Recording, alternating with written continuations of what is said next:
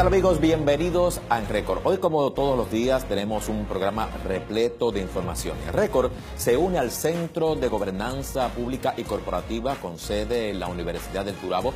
Vamos a realizar un foro individualizado donde todos los candidatos a la gobernación serán cuestionados sobre el tema de gobernanza donde le harán preguntas, las mismas, a cada uno de ellos y van a discutir temas de interés social. Hoy contamos con la presencia del candidato del Partido del Pueblo Trabajador, el profesor Rafael Bernabe, que nos acompaña en la tarde de hoy. Gracias por estar con nosotros, bienvenido aquí en Récord. Gracias, Helmut, por la invitación y saludo a todos los Esto es bien pertinente, sumamente importante, porque hay ciertos puntos que la gente, queremos educar, desconoce, pero los políticos desconocen, muchos de ellos, pero también ignoran. Vamos a hablar de lo que es transparencia gubernamental. Cuando mencionamos ese término, ¿a qué nos referimos? Bueno, yo creo que nos referimos a la posibilidad de que el ciudadano tenga conocimiento, tenga acceso a información sobre todo lo que está haciendo el gobierno, todas las gestiones que está haciendo el gobierno.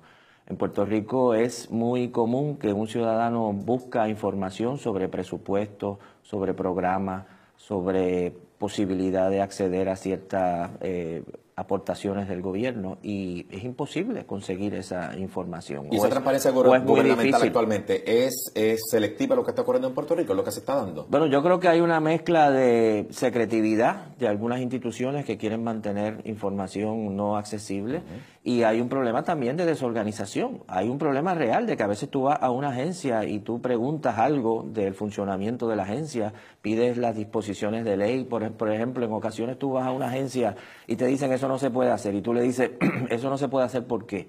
No porque el reglamento lo impide o porque la ley lo impide. ¿Cuál es el reglamento que lo impide? ¿Cuál es la sección del reglamento que lo impide? No tienen copia del reglamento, no tienen copia de la ley, no te pueden explicar por qué algo no se puede hacer y a veces es simplemente por ignorancia, porque no tienen la ley allí y no la han estudiado y cuando no se es por ignorancia, ¿por qué se hace? No se hace porque no se quiere que se revelen o se, o se hagan públicas cosas que pueden ser incluso a veces eh, ilegales. Eh, tú eres un, muchos contratos, tú eres exacto, tú eres un contratista, tú has participado en una subasta, te enteraste que la subasta no te favoreció y tú quieres ver los documentos referentes a esa situación y los documentos pues o no están disponibles o están disponibles muchos meses después de cuando tú lo eh, solicitas, siempre hay pero, siempre hay algún tipo de situación. Nosotros creemos que todo, todo lo que es público, todo lo que es manejo público, como dice la palabra, debe ser público y debe estar disponible. En el mundo nuestro hoy en día, que es tan fácil tener en Internet, tener en páginas web toda esta información de manera disponible, no hay excusa para que no esto no sea así. En otras épocas que era mucho más difícil, había que tener archivos en papel y buscar en los archivos y buscar documentos y todo esto. Hoy en día todo esto se puede hacer, o casi todo se puede hacer de manera digital y se puede acceder a esa información. Esa transparencia gubernamental está relacionado con rendir cuentas. Absolutamente, rendir cuentas. Tiene que ir de la mano, una con la otra. Absolutamente, y tiene que haber mecanismos para que el ciudadano pueda exigir y participar en cómo funcionan las agencias. Yo creo que uno de los graves problemas que tiene el gobierno de Puerto Rico es que no escucha el gobierno debiera escuchar al ciudadano y escuchar a los trabajadores. Muchas veces, muchas veces no quiere escuchar al ciudadano y ve al trabajador y al empleado como un enemigo. Yo te doy un ejemplo concreto que fue una cosa que a mí me impresionó hace como dos años. Yo me reuní con los trabajadores o con parte de los trabajadores de las lanchas de Cataño, que dan un servicio muy específico. Y yo me quedé fascinado porque ellos me explicaron en una reunión de dos horas todas las cosas que se podrían mejorar en el funcionamiento de las lanchas de Cataño equipos que no se utilizan adecuadamente, horarios que no tienen sentido, eh, envíos que les hacen, eh, mandados que les hacen hacer a otros municipios y trabajo. vienen de la gente, de la propia gente. Y ellos, si alguien sabe cómo reorganizar el sistema de las lanchas de Cataño para ahorrar servicios, para que funcionen mejor, para que no se malgasten recursos, son quienes, pues los que trabajan en la lancha de Cataño y los que usan las lanchas de Cataño. Entonces sería tan fácil tener un comité con representación ciudadana sobre todo de la gente que usa cotidianamente la lancha de Cataño y de los que trabajan en la lancha de Cataño para rediseñar cómo funciona ese servicio de acuerdo a las necesidades de la gente y de, acuerdo al conocimiento de los trabajadores. gobierno de eso? ¿Por alguna razón en particular no, lo hace? El gobierno no hace eso. Del, del país, del pueblo. El gobierno no hace, eh, no hace eso en la lancha de Cataño y no lo hace en educación y no lo hace en el departamento de la familia. Porque como te dije, tienen una actitud, una, una concepción empresarial a veces muy restrictiva de que aquí manda el jefe y el jefe es el que llega y reorganiza la agencia. No tienen que escuchar al maestro. Fíjate cuántas veces se dice por ejemplo, que tenemos que transformar la educación en Puerto Rico. Con quien menos se ha contado para transformar la educación en Puerto Rico han sido precisamente con los docentes y los trabajadores de educación. Cada vez que viene un secretario de educación, viene una nueva reorganización del sistema de educación y no tienes un proceso participativo ni con los padres ni con los maestros y maestras para reorganizar ese proceso educativo. Y en la medida que el maestro y maestra se siente enajenado, se siente que no se toma en cuenta lo que puede aportar, pues se desmoraliza y también deja de pensar en maneras de aportar, porque si total no se va a tomar en cuenta su aportación, ¿para qué estar preocupándose por eso? Seguimos con el asunto de transparencia, pero relacionado al candidato como tal, los estados financieros. Eh, eh, los candidatos están obligados a presentar un estado financiero. Ahora, ese estado financiero, esos candidatos deben presentarlo al pueblo, deben hacerlo.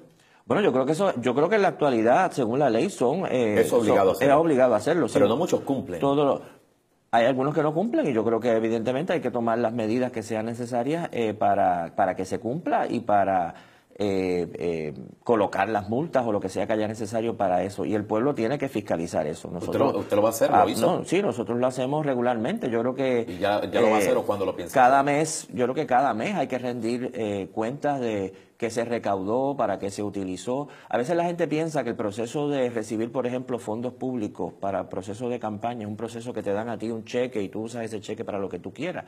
Realmente no es así. Nosotros no recibimos nunca una cantidad de dinero. Nosotros podemos contratar, por ejemplo, un sistema de sonido para una actividad y ellos facturan Hacienda, Hacienda les paga y Hacienda se supone que haga una eh, eh, fiscalización, ¿verdad? De si efectivamente se usó ese equipo, si, si lo que se está gastando en ese equipo es algo razonable, ¿verdad? Porque si tú facturas 100 mil dólares por un equipo de sonido, pues evidentemente hay un problema. Ya hay un cuestionamiento, y, y, uno tiene que, y, realmente tengo que decir que la Oficina del Contralor Electoral y Hacienda ah, están siendo bastante rigurosos en eso y a mí me, eh, me alegra mucho.